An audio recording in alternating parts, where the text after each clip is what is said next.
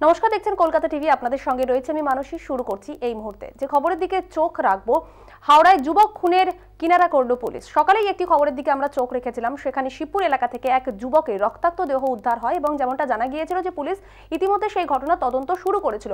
তদন্ত নেমে পুলিশ যেমনটা জানতে পেরেছে যে গতকাল রাতে সে যখন বাড়ি থেকে বেরিয়েছিল, পার্টি করতে যাচ্ছে এই বলে বাড়ি থেকে বেরিয়েছিল, তারপরে নেশার দ্রব্য নিয়ে তার বন্ধুদের সঙ্গে বচসা হয় এবং তারপরে ধারালো অস্ত্র দিয়ে প্রথমে সেই যুবক তার বন্ধুদের ওপর কোপ মারে, তারপরেই পাল্টা কোপ মারা হয় তাকে এবং যে রক্তাক্ত দেহ উদ্ধার হয়েছে শিবপুরে, সেই রক্তাক্ত দেহ দেখে পুলিশের ধারণা যে ধারালো কোনো অস্ত্র দিয়ে কোপানো হয়েছে সেই যুবককে এবং ইতিমধ্যে পুলিশ এই ঘটনায় চারজনকে গ্রেফতার করেছে। তদন্ত এখনও জারি রয়েছে। আরও বিস্তারিত তথ্য জেনে নেব। আমাদের সঙ্গে রয়েছেন প্রতিনিধি জগন্নাথ সামন্ত। জগন্নাথ, তদন্তে আর কি কি তথ্য উঠে এসেছে? দেখো, পুলিশের কাছে প্রথম ভাবছে যেটা হাতিয়ার বলে রাখতে পারি, সিসিটিভি ফুটেজ। সিসিটিভি ফুটেজে দেখে যখন লক্ষ্য করা যায় যে চারজন যুবককে সেই সময় ঘোরাঘুরি করতে দেখা গেছে এবং যেখানে মূলত খুনটা হয়েছে, যেখানে মারপিটটা হয়েছে, সেইখানে সিসিটিভি না থাকলেও আশেপাশে বেশ কয়েকটি সিসিটিভি ফুটেজ খতিয়ে দেখার পরে যে চাঞ্চল্যকর তথ্য উঠে আসছে যে যে ধারালো অস্ত্র দিয়ে মেরেছে যুবকরা, সেই ধারালো অস্ত্রটা মৃত যুবকের কাছেই ছিল এবং সেই অস্ত্রটা দিয়েই ঝামেলা যখন হয়েছিল, তাই আঘাত করতে গেছিল।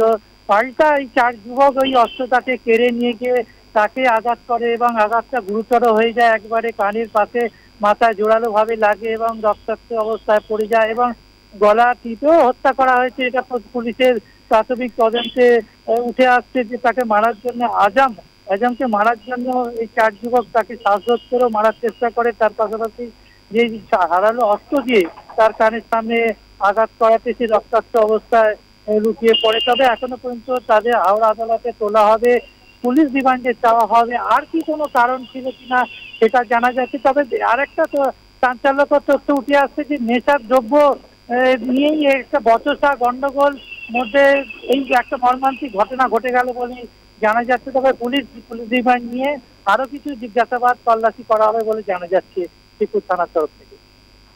জগন্নাথ আরও একটা বিষয় তোমার কাছে জানতে চাইব। তুমি যেমনটা বললে যে নেশার দ্রব্য নিয়ে বচসা শুরু হয়েছিল তার বন্ধুদের সঙ্গে। যে ছেলেটি অর্থাৎ যে যুবকটির মৃত্যু হয়েছে সে কি বহুদিন ধরে নেশাগ্রস্ত কোনো দ্রব্যের সঙ্গে জড়িত ছিল বা নেশা করতো এরকম কি কিছু জানা যাচ্ছে? একেবারে ঠিকই বলেছ আমরা সেই সূত্রটাই পাচ্ছি যে ভয়ানক এরা নেশায় আক্রান্ত হয়ে রয়েছিল।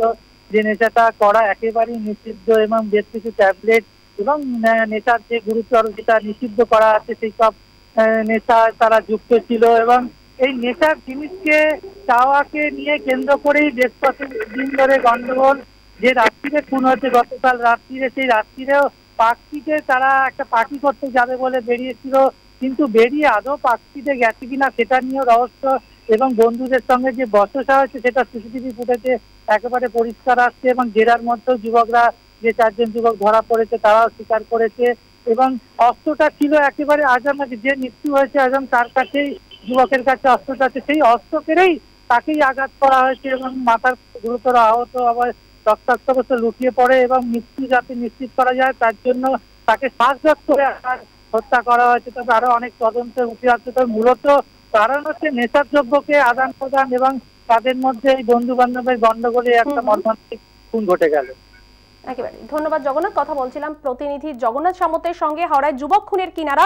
বাড়ির অদূরে রক্তাক্ত দেহ উদ্ধার হয় রাইস আজিম নামে এক যুবকের এবং পুলিশ তদন্ত শুরু করে এই ঘটনা। তদন্তে নেমে পুলিশ জানতে পারে যে নেশার দ্রব্য নিয়ে বচসা শুরু হয় তাদের বন্ধুদের মধ্যে। প্রথমে রাইস তার বন্ধুদের আঘাত করে ধারালো অস্ত্র দিয়ে। তারপরে তার বন্ধুরা পাল্টা আঘাত করে। আজমের ওপর। তারপরে রক্তাক্ত অবস্থায় লুটিয়ে পড়ে সে এবং তৎক্ষণাৎ মৃত্যু হয় তার। ইতিমধ্যে এই ঘটনায় পুলিশ চারজনকে গ্রেফতার করেছে, তবে তদন্ত এখনও জারি আছে।